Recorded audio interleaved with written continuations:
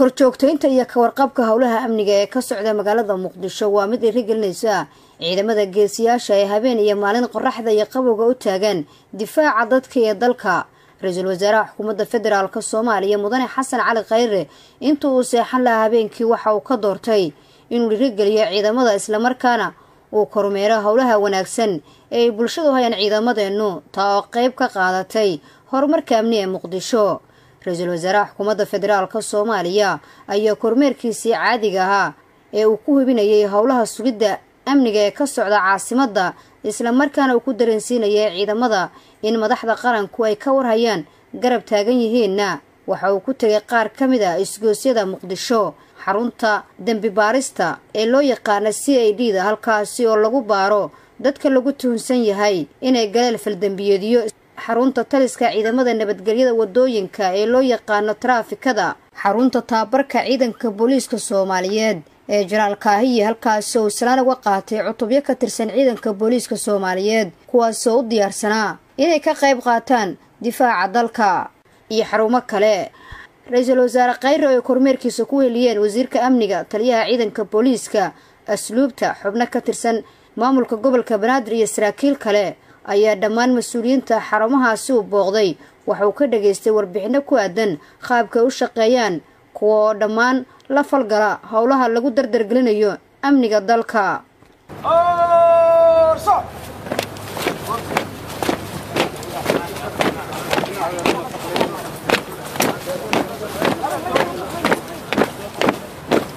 halkan waa xarunta gaadiidka booliiska soomaaliyeed. Waxaa ku sugan ciidamo cusub oo ku soo biiray booliiska laguna soo tababaray dalka jabuuti islamarkaana ah dhallinyaro aqoon-yahana kuwaasi oo go'aansaday inay ku biiraan ciidanka si uga qayb qaataan difaaca qaranka ra'iisul wasaaraha xukuumadda jamhuuriyadda federaalk soomaaliya mudane xasan cali khayre ayaa booqasho ugu tegay si ugu dhiirigeliyo ku soo biiritaanka ciidanka booliiska soomaaliyeed dhallinyaradan aqoon-yahanada ah islamarkaana ugu bogaadiyo howlaha culus ee ay bulshadu ka sugayso.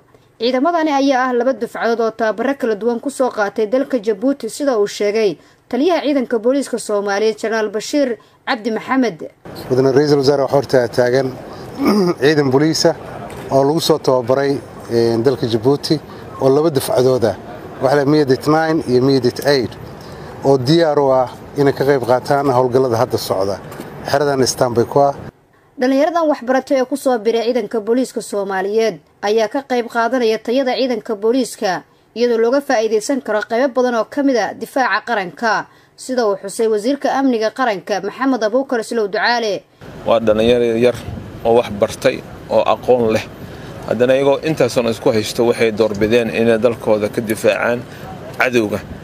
Marka waxaanu isticmaalna kan waxyaalo badan waa dhallinyaro aqoon u lah waxaan geysan karnaa saldhigyada sidoo kale waxaa la geyn karaa haddii loo baahdo trubatario sidoo kale ciidamada sugidda amniga ee sama la yiraahdo magaalada muqdisho loo isticmaali karaa iyo wadanka intiisa kale loo baahdo.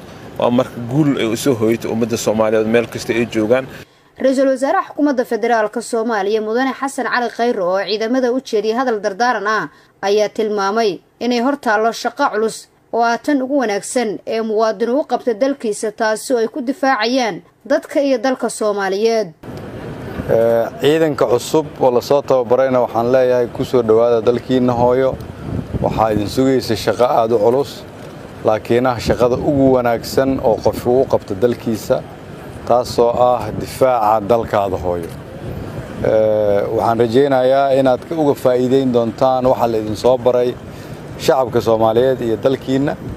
Waxaan u mahad celinayaa wasiirka iyo taliyayaasha iyadoo runtii aan aaminsanahay soo jeedka ay soo jeedeen iyo dadaalka dheeraadka ay bixiyeen inay ku diirsadeen shacabka soomaaliyeed ra'iisul wasaaraha xukuumadda jamhuuriyadda federaalk soomaaliya mudane xasan cali khayre ayaa shacabka soomaaliyeed gaar ahaan reer muqdisho uga mahad celiyey sida wanaagsan ula shaqeeyeen ciidanka sugidda amniga caasimadda ee sama islamarkaana ay ugu dulqaateen baaritaanada lagu samaynayo gaadiidkooda taasi oo qayb ka ah qorshaha lagu adkaynayo amniga caasimadda. Laakiin waxaan idinkaga mahad celinayaa anigoo ku hadlaya magaca wasiirka iyo dhammaan taliyayaasha dulqaadka aad muujisaan fahamka aad muujisaan. Waan ogahay inay dhib tahay in wakhtiyo badan aad ciidamada meelo badan ay ka shaqeeyaan aad iyaga caawisaan. Waan ogahay inay wakhti qaadato meeshii la aadi jiray sababtoo in baaritaan badan baabuurta lagu sameeyo. Waxaan idiin ballan qaadaynaa inaan sii dardar gelin doonno aanna soo gaari doonno haddii ilaaha yidhaahdo wakhti aan loo baahnayn baaritaan badan marka amnigoo dhan uu soo hagaago. Inta laga gaarayo ciidamadu waxay ka shaqeeyaan inay badbaadiyaan nafta dadka soomaaliyeed iyo shacabka soomaaliyeed. Dadaalkaas waxaan idinka codsanaynaa inaad u dulqaadataan kalena shaqaysaan ciidamada amniga sugana waxaan leennahay waa inaad dadka soomaaliyeed ama shacabka soomaaliyeed si sharaf leh ula dhaqantaan inaad ixtiraamtaan. Guryaha aad gelaysaan waa inaad ogaataan inay yihiin guryo dad walaalihiina meelaha aad taagan tihiin dadka waayeelka hooyooyinka iyo carruurta waxaa la rabaa inaad si fiican ula dhaqantaan jidadka ka gudbisaan. Ciidanku waa astaantii qaranka. Fadlan muujiya astaantaas. Nasre bashiir cali warbaahinta qaranka magaalada muqdisho